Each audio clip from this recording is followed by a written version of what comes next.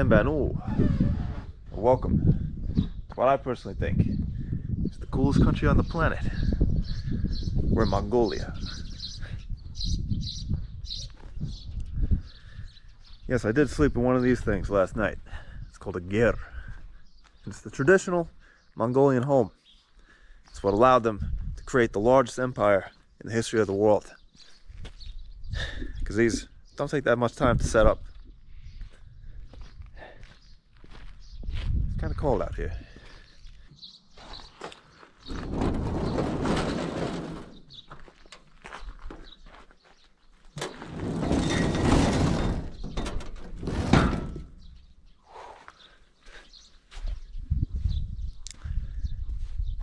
Ever since I was a kid, I've always wanted to come to Mongolia.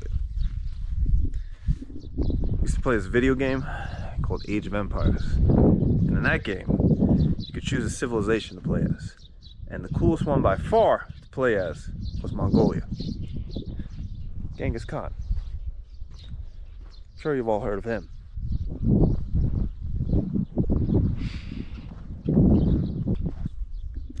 Most of Mongolia indeed does look like this. Vast, empty grasslands where you won't see a person for miles. You won't see anything. Well, maybe a herd of animals. Maybe a herd of horses. But it was from these vast, empty steppes where you can't grow any food that China's worst enemy emerged. The Mongols. The most feared army up until, well, not very long ago. The Mongols were the Middle Age equivalent of a nuclear weapon. And when you see the territory that they grew up in, you can kind of understand how that happened.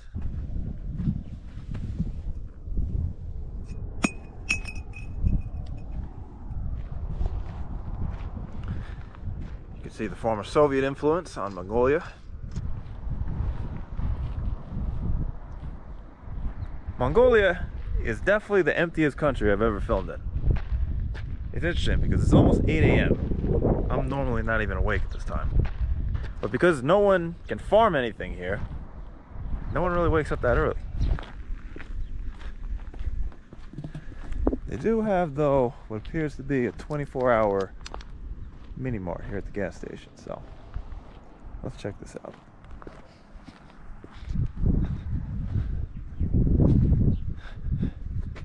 Yeah.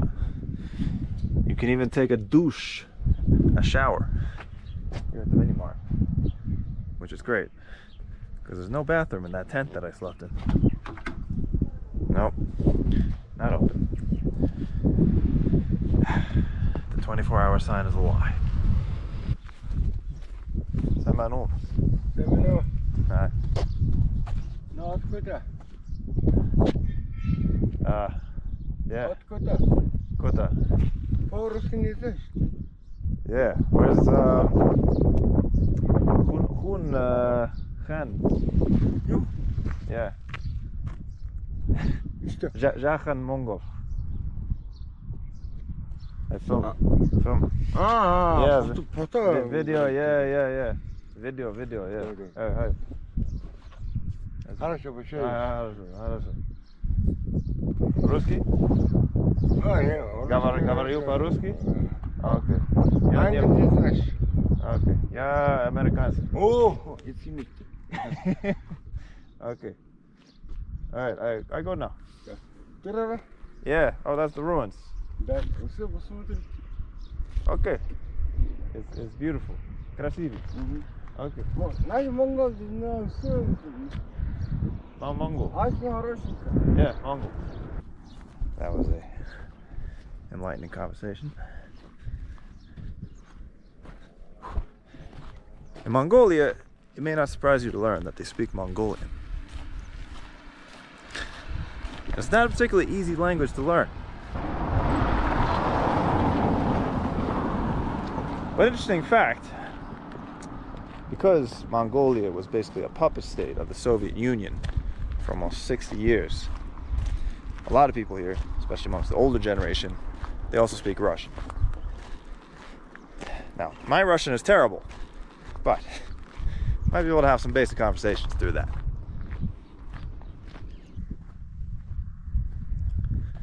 So what I believe that old man was trying to tell me is that just behind me are the ruins of the old capital of the Mongolian Empire. The largest land empire the world has ever known.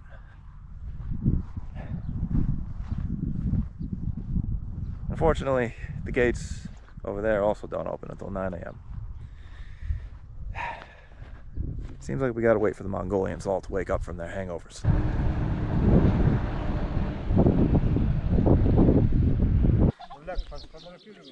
Huh? Oh, photo? Okay. I help you.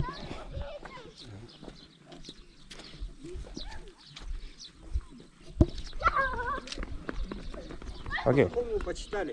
Кому почитали? Егі қойыр гурбун это что, по-монгольски? Uh, just uh, a little. Это Ja, калмыки. Jahan. Калмыкия, один, два, три это Kal называется. Kalmiki? Я калмык. Oh, okay. Русский? Калмыкия. Oh, Kalmuki. Kalmuki. Да, калмык, Элиста, Элиста, слышал. Okay. Amer- Кирсан, Кирсан. Amerikanski. Американский, все Oh, хорошо. yes. Very nice to meet you. Все, все. Yeah. Sure. what an interesting part of the world we're in here. A part of the world I haven't spent much time in. Meeting Kalmykians, Russians, Kazakhs.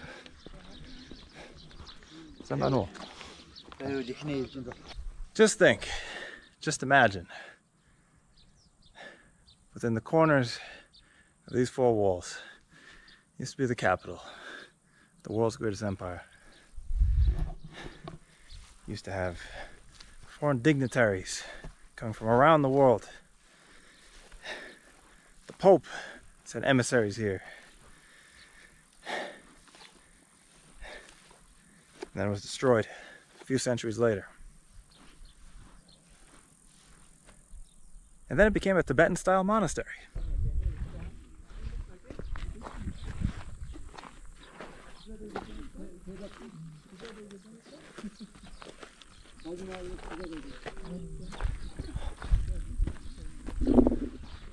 finish the Tibetan prayer circle.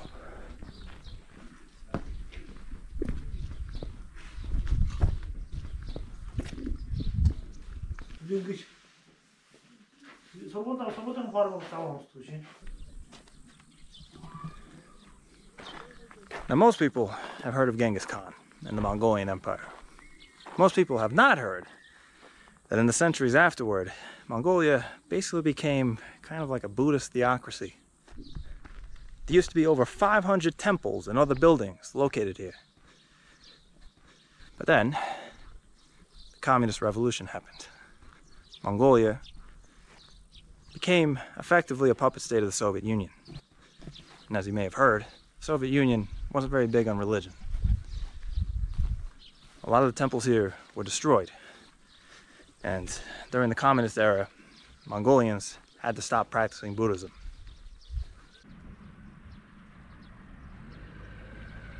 For most of world history, up until very recently, by far the most powerful civilization in the world was China. China just dominated everything. They were ahead of Europe and the Middle East technologically. They were huge. No one could challenge them. But there was just one group of people that they were always afraid of. Of course, you know I'm referring to the Mongols. The Chinese were so afraid of the Mongols that they would try to interfere in the politics of Mongolia. They would try to turn one tribe against another so that they could never unify and be strong enough to challenge China.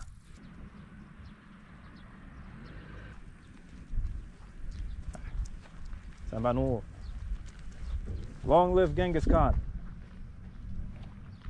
All right, so I only have a couple of days in Mongolia and I really wanted to rent a car. There was literally only one car available. A giant 2002 Dodge Ram. Riding around like the cartel here in Mongolia. This is, uh, my driver, Joloch. Yeah.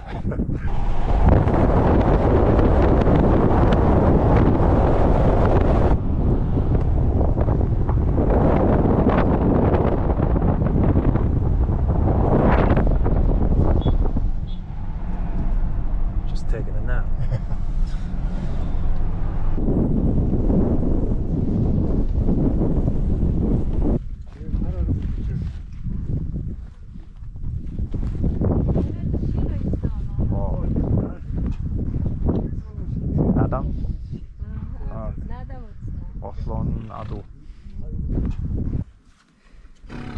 Sen beni. Ah, sen var nu.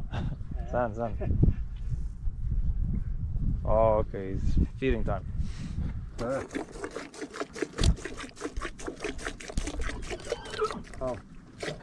일 басқышы сору мұсын. Индер ол. Әти. Asi siya kasi tatat. Tatat. Гаргач. Сүү. Таtat. Аа за тэгээд бол. Oh, okay. He's very angry. Very wild. it's okay, it's okay. And these are some real Mongolians right here. This is some real Mongolian shit.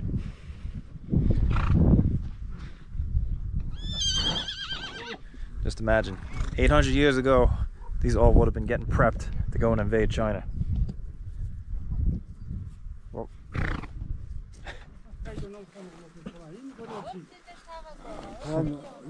арг уу. Alcohol? Оо оо. All milk? Мол мол. Asu? Оо. Ийм айс. Okay, okay, okay. Тийш очоод байгаа. Okay, we can? Okay.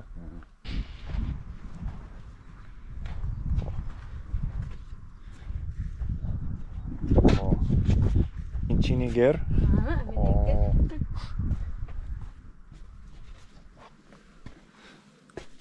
Wow. Okay. Ah, Сүү. Сүү арг. Ослон Арг. сүү.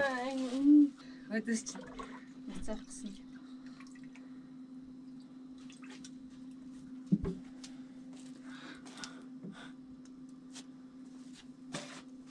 Oh.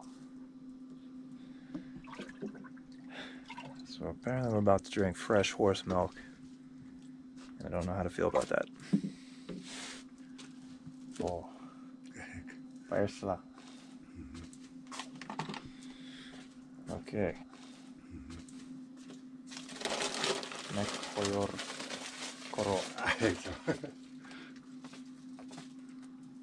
oh. Mm. It's very sour.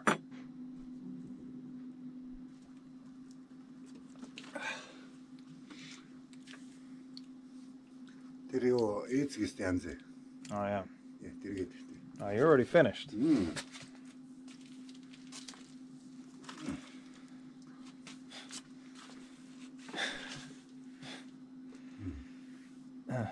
this dude went through that milk like a knife through butter. Whoa. Okay. No, han, han, hanışta. Deniz uğuruz. Okay. So, Mark I'm gonna guess this is cheese. I'm gonna hope it's cheese. Энэ болохоор өрөмн Бодын Oh өрөмд wow. хөө. Тэгээд яг хой халтаа байхгүй тий. харин гадаадд ээж It's, uh, гэсэн. Тий It's энэ кой. Энэ Koi. гой. Okay. Энэ ээжгээ яг хийж байгаа юу нь энэ чинь хийж одоо яг Том. буцаж Шоо.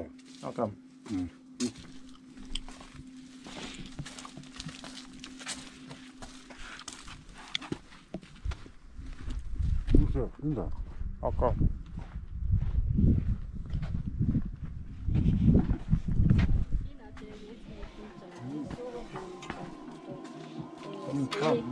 Oh, okay. I see now. Нот энэ байна. Энэ. Oh, I see. Wow. Виски. Whiskey. Yeah. okay. Mongol's whiskey. In this house. Uh, uh, whiskey. Whiskey. Okay, wow. Oh, this is like old school Mongolian liquor. I'm a little bit afraid this. Is a big glass. Cheers. cheers.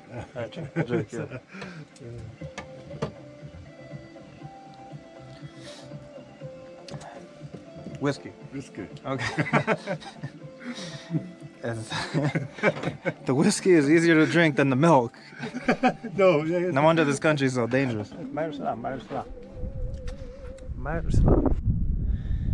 So as you can see, these tents, oh, gotta watch out for the horse shit. These tents, which are called ger, these are not just a tourist attraction.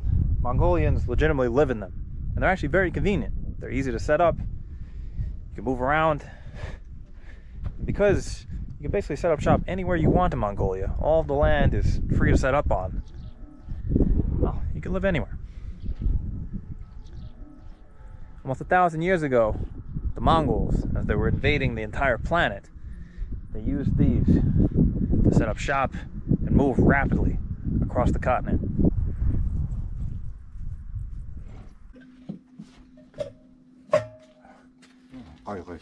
My driver is really insisting I keep drinking the milk. It's really very smart how they designed these things. You've got like a skylight at the top that you can cover with the rest of the tent at night during the day. And then open it up to let in air and sunlight. Question. Uh, Үлдэн туу эсвэр нүш. А энд үлдэн. Жилийн турш энд байна. Байна. Аа. Байнга байна. 200. Тэгээ 10 дугаар сар хүртэл. Бүсний аврал юм. Их баярлалаа. Тэр нэг нөхрийг ихэд оос байлаа. Автобус суулгаа явуулчихдаг болно шүү дээ. Тэр нь сүүлд таа. Яг зам дээр бичээ. Тэ. Nice. Das so. Ja, jetzt geholt. We got some milk, some horse milk, and some horse snacks for the road. At first, I thought my driver was taking me to like a tourist trap or something, but no, these are genuine people. They just gave us all this for out of kindness. Mongolia.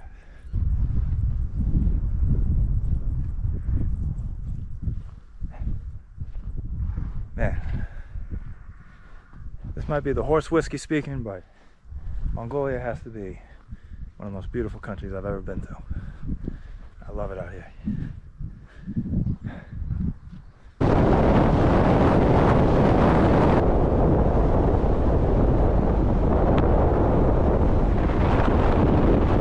I literally wanted to stop the car just to show you this. Here's another animal you can find wandering around Mongolia.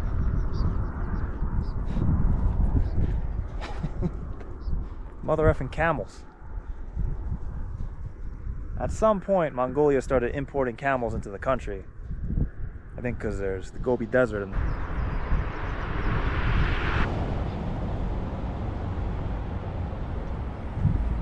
That's what your average town in Mongolia outside of Ulaanbaatar looks like.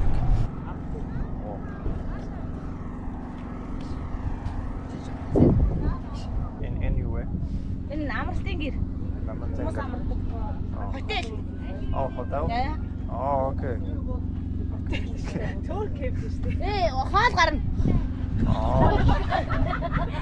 milk, milk soup. Tea, tea. Tea, tea, tea. Okay, okay, okay. I already drank that. Okay, okay. Lunch? Oh, food, food, okay. Yeah, yeah, okay. Okay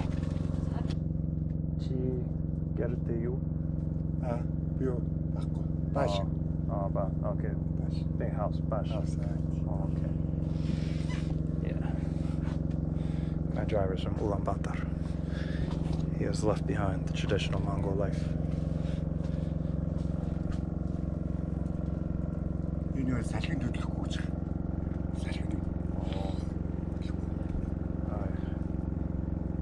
wish I knew what he was saying. Okay.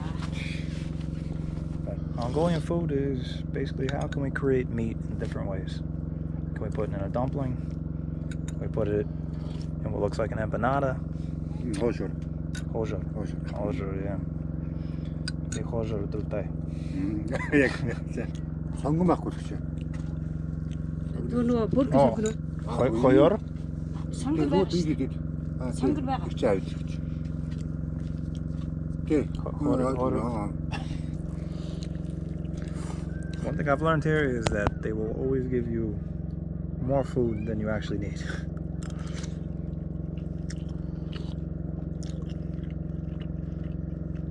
You need to eat as much as a Mongolian wrestler.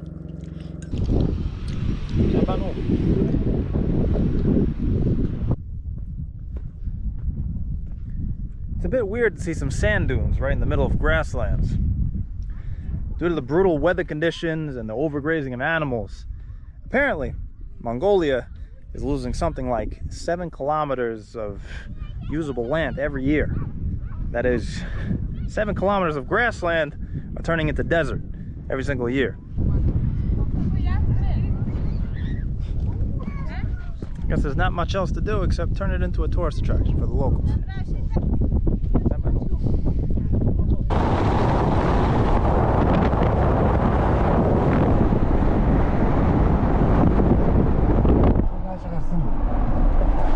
Alright, so we're coming up on the outskirts of Ulaanbaatar. And the crazy thing about this country is, again, you're just driving through endless greenery, and then all of a sudden, a small city shows up. And by city, I mean, look at this.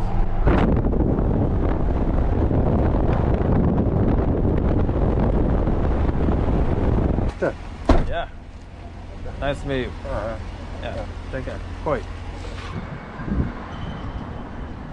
Now, the big city of Mongolia, Ulaanbaatar, the settled city. People are living normal lives. All right, so it's quickly getting dark here. It's almost nine o'clock here in Mongolia. Before the sun sets, let's quickly make it to the main square and see a statue of the main man himself, Mr. Genghis Khan. Where do I live? America. I got a toilet. All right. Still scaring children.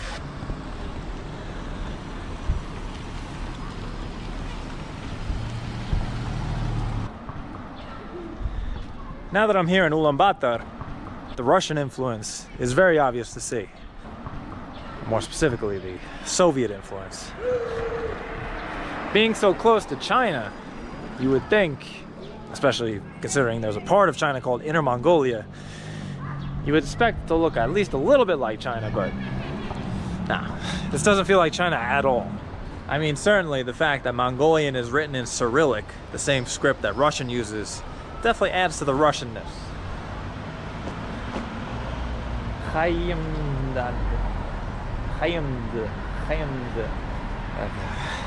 I'm trying with Mongolian, but it's, it's not easy.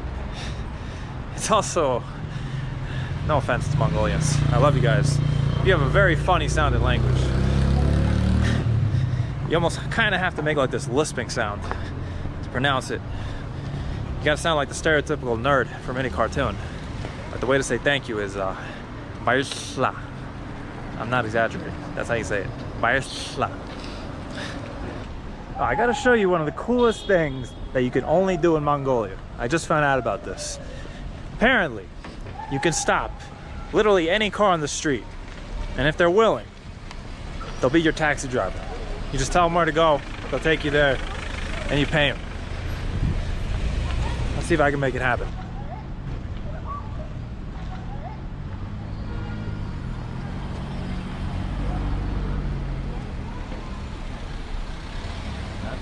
Yeah?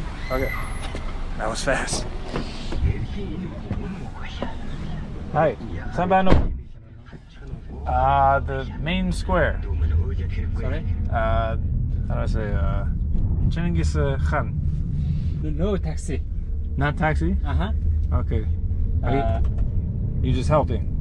sorry? So you're a baby? Yes? Oh, okay. You have uh, one baby? Two babies? Two babies. Three babies? Okay, Koro. Koro. Wow.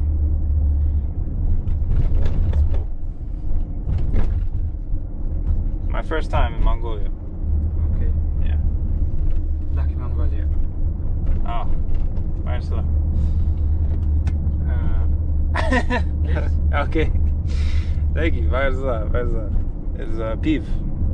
Is it uh, Mongols? yes, Mongol. Okay. Made in. Mongolia. Nice. Okay. Thank you. Thank you. Well, Mongolian hospitality. Cheers. Cheers. But you you you can drink later. Yeah, okay, later. I pay you money? No, no. No, no. You No? You sure? yes. sure? Oh, Okay. Give me a beer and a ride. Thank you. Thank you. Okay, man. Bayezla. Bye bye.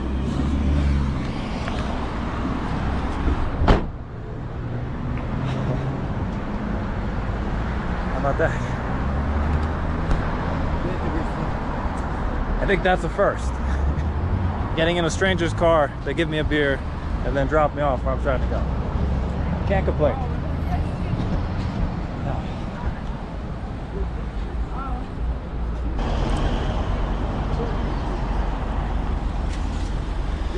Mongolia's come a long way from living out in the grasslands. Got the Shangri-La Hotel now. Also people driving Mustangs, a Lexus, Mercedes. Where's all this money coming from? We finally made it to the central square of Ulaanbaatar. Just as the sun is fully setting and you're probably barely able to see anything.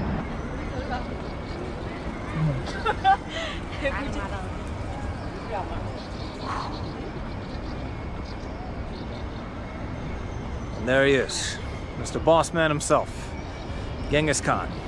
All right, cheers. Mongol. There we go. Now, I've been to many countries where they have a statue of some old leader, controversial president, an old dictator, stuff like that. This is the first statue of a political leader in a country that I think we can all get behind.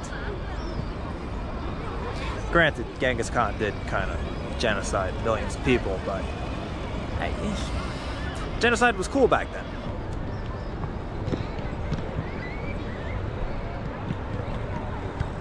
Mongolia.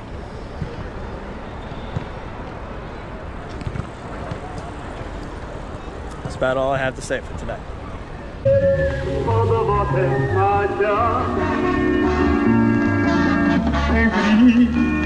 alt meni jam tehra diye elbiye